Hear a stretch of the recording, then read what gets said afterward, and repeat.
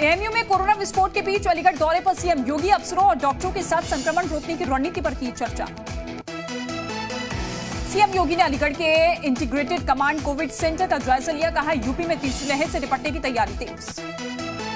Corona संकट के बीच शिवराज सरकार का बड़ा ऐलान, परिवार के मुखिया की मौत पर हर महीने पाँच हज़ार रूपए की मदद।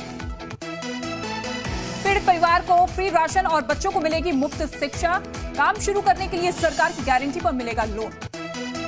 बच्चों के लिए कोवैक्सीन के ट्रायल को मंजूरी। डीसीजीआई ने क्लिनिकल ट्रायल की मंजूरी दी। दो से अठारह साल के बच्चों पर होगा ट्रायल भारत बायोटेक बनाएगी बच्चों के लिए वैक्सीन 525 बच्चों में होगा वैक्सीन का ट्रायल बच्चों का कोरोना वैक्सीन बनाने वाला तीसरा देश बनेगा भारत। कनाडा और अमेरिका बन, बना चुका है बच्चों का कोरोना वैक्सीन लॉकडाउन के दौरान ऑनलाइन क्लासेस का साइड इफ़ेक्ट बच्चों की आँखों में हो रही है परेशानी।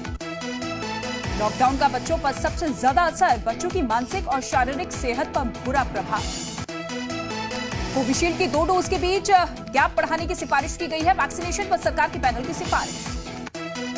कोविशील्ड के दो डोज के बीच गैप 12 से 16 हफ़्ते करने की सिफारिश की गई है। कोरोना संक्रमित लोग छह महीने बाद ही ले सकेंगे वैक्सीन। गर्भवती महिलाओं के लिए वैक्सीन को लेकर भी सिफारिश। गर्भवती महिला अपनी इच्छा अनुसार ले सकती हैं वैक्सीन। स्तनपान कराने वाली महिलाएँ कभी भी लगवा सकती हैं वैक्सीन। कोरोना महामारी के बीच अब देश के, देश में काली बीमारी का खतरा ब्लैक फंगस से जा रही है 50 फ़ीसदी जान। दिल्ली, महाराष्ट्र, गुजरात समेत कई राज्यों में ब्लैक फंगस के मामले बढ़े हैं। लोगों की जा रही है आँखों की रोशनी। गुजरात के सूरत में ब्लैक फंगस के चलते आठ लोगों की रोशनी गई। कोरोना के चलते, कोरोना के इलाज के दौरान ही आँखों की रोशनी गई। उत्तर प्रदेश, मध्य प्रदेश और बिहार में भी काली बीमारी का कहर। सीएम योगी आदित्यनाथ ने ब्लैक फंगस पर तैयारियों की रिपोर्ट मांगी।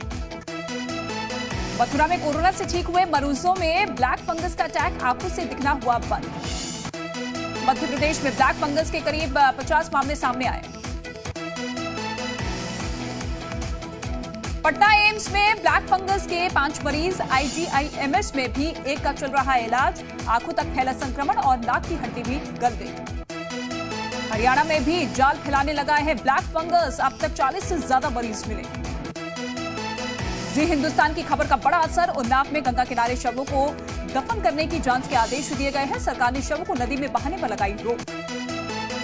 उत्तर प्रदेश के उन्नाव में गंगा नदी में मिला संदिग्ध कोरोना मरीज़ का शव। गंगा के किनारे प्रशासन ने किया दाह संस्कार कोरोना महामारी के बीच उत्तर प्रदेश के गाजीपुर में प्रशासन की पहल, शवों को गंगा नदी में नहीं बहाने की अपील की गई। गाजीपुर के डीएम ने घाट पर माइक से की अपील, प्रशासन करवाएगा अंतिम संस्कार। बिहार के बक्सर में गंगा नदी में मिले, फिर मिले शव। गंगा नदी में लगे महाजाल में फंसे पाँच शव।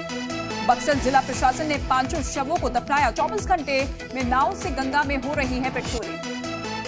केंद्र की तरफ़ से राज्यों को दिए गए वेंटिलेटर चालू नहीं होने पर स्वास्थ्य मंत्रालय ने जताई नाराज़गी। केंद्र सरकार ने सात राज्यों को चिट्ठी लिखकर जताया ऐतराज वैक्सीन को लेकर सीएम अरविंद केजरीवाल का केंद्र पर निशाना। राज्यों को आपस में लड़ने के लिए छोड़ दिया गया है। इंटरनेशनल मार्केट में आपस में लड़ रहे हैं राज्य कोरोना वैक्सीन के लिए दिल्ली, उत्तर प्रदेश, महाराष्ट्र समेत 10 राज्य ग्लोबल टेंडर करेंगे। दिल्ली में कोरोना पॉजिटिविटी रेट घटकर 14 फ़ीसदी हुई। ऑक्सीजन की खपत में भी आई कमी। दिल्ली को अब रोज़ाना पाँच मीट्रिक टन ऑक्सीजन की ज़रूरत है। दिल्ली के डिप्टी सीएम मनीष सिसोदिया ने केंद्र सरकार का आभार जताया। कहा, संकट की घड़ी में केंद्र का मिल रहा है पूरा सहयोग।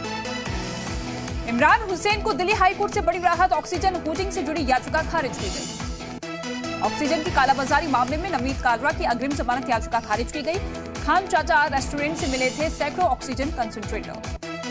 जर्मनी से भारत पहुँची मेडिकल सहायता, ग्रीस, फिनलैंड से भेजी गई मदद, ऑक्सीजन कंसंट्रेटर, दवाइयाँ, वैक्सीन मौजूद। महाराष्ट्र के जालना और बुल्ढाना में वैक्सीन की कमी दिखाई दी। वैक्सीन लगवाने के लिए लोगों की लंबी कतारें। देश में कोरोना संक्रमण के केस में फिर आई तेज़ी। 24 घंटे में कोरोना के तीन लाख बासठ हज़ार से ज़्यादा नए केस। लगातार दूसरे दिन देश में मौत का आंकड़ा 4000 के पार पहुँचा। 24 घंटे में देश में 4120 लोगों की मौत हुई। नए केस और मौत के मामलों में पहले नंबर पर है भारत। महाराष्ट्र में 15 दिन और बढ़ा लॉकडाउन 1 जून सुबह सात बजे रहेगी पाबंदियाँ। पहले 15 मई तक था लॉकडाउन महाराष्ट्र में फिर बढ़ी कोरोना संक्रमण की रफ्तार। बीते 24 घंटे में छियालीस हज़ार सात सौ इक्यासी नए मामले 816 लोगों की गई जान। मुंबई में भी संक्रमण और मौत का आंकड़ा बढ़ा। मुंबई में 2000 से ज़्यादा नए मामले और छियासठ मरीजों की मौत। झारखंड में एक साथ दो हफ़्ते के लिए बढ़ाया गया लॉकडाउन। झारखंड सरकार ने 27 मई तक लगाया सख्त लॉकडाउन। दूसरे राज्यों से झारखंड आने वाले लोग किए जाएँगे क्वारंटीन। सात दिनों तक क्वारंटीन किए जाएँगे बिहार, बाहर से आने वाले लोग। शिमला में लॉकडाउन के दौरान सख्ती, कोरोना प्रोटोकॉल के साथ आने जाने वाले वाहनों की चेकिंग।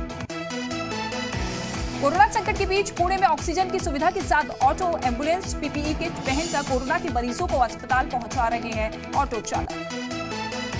हरियाणा के करनाल में पाँच मिनी बस को एंबुलेंस बनाया गया है, कोरोना मरीजों को मिलेगी राहत। जम्मू कश्मीर के कथुआ में ऑक्सीजन प्लांट की शुरुआत की गई है, कोरोना मरीजों को मिलेगी राहत। मध्य प्रदेश के हत्या में रेमडेसिविर की कालाबाजारी करते हुए पकड़ा गया युवक। पंद्रह पंद्रह हज़ार रूपए में बेचता था रेमडेसिविर इंजेक्शन। तमिलनाडु के मदुरई में रेमडेसिविर इंजेक्शन के लिए प्रदर्शन। बड़ी तादाद में लोगों ने कलेक्टर ऑफ़िस के बाहर किया प्रदर्शन। हैदराबाद में ईद की खरीदारी के बीच कोरोना गाइडलाइंस की उड़ी धज्जियाँ। चारमीनार इलाके में लोगों की भारी भीड़। उत्तर प्रदेश के वाराणसी में ईद की खरीदारी के दौरान कोरोना के नियमों की जमकर उड़ी धज्जियाँ। भीड़ के सामने पुलिस से दिखी लाचार।